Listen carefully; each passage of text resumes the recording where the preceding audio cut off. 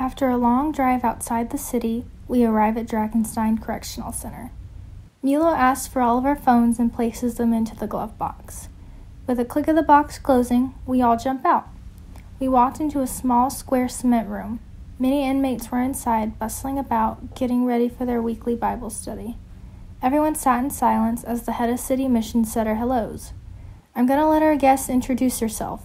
Listen carefully now. She's a very heavy American accent. Their eyes all turned to me.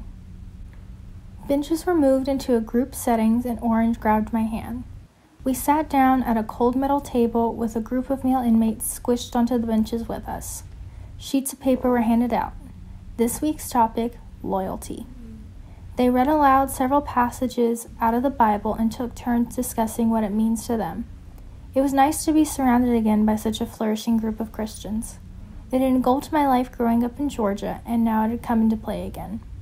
It was a beautiful thing to witness, to watch them as God reflected through their eyes. I could feel the tears sweltering up.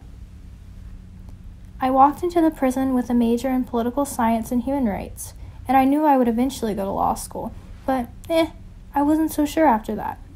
It wasn't until this very moment I knew what I was meant to do. Enzo patted my shoulder. Come on, let me show you around. We walked into a beautiful courtyard of greenery surrounded by several doors. Through this door is the soccer house. This is where the inmates who participate in city mission live. The room housed about 50 inmates, all with their beds perfectly made. One was sitting in front of a television set. Several were running in and out of the room shouting hello as they scurried by me. The room was gigantic with bright walls, nice blankets, and pictures and posters everywhere. They could see the shock in my eyes as I walked around. It reminded me of when I had visited a prison back at home when building the library for Floyd County Jail. I remember my papa, who worked at the jail at the time, showing me around. I have the image of a solitary confinement room forever ingrained in my brain, with sharpies, paint, and scratches taking all over the tiny, dark, and horrifying cell. He told me many times they place them in straitjackets for misbehaving when they're in the cell.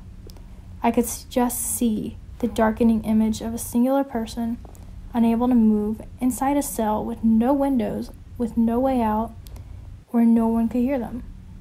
And again, I knew when working with prison reform was what I was meant to do and what I had a duty to do.